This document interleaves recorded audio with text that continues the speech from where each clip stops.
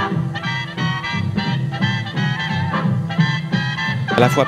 هم نقاش هم زبده در کارهای دستی.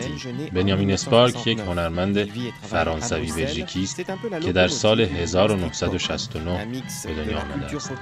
او در بروکسل کار و زندگی می‌کند. او را می‌توان لوکوموتیو جریان street pop دانست. این جریان ترکیبی است از فرهنگ مردمی داستان نقاشی از طرفی و نگارگری های دیواری هنرمندان خیابانی با اسپری و خمیر از طرف دیگر. استریت پاپ بسیار سطح بالا که صاحب نگارخانه آنتروپود در موناکو به همراه یکی از دوستان نزدیک این نقاش به ما نشان می‌دهد.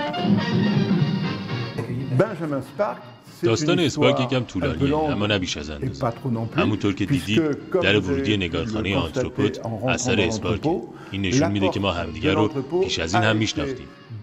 اما خب این کار ما رو باز هم به هم نزدیکتر کرد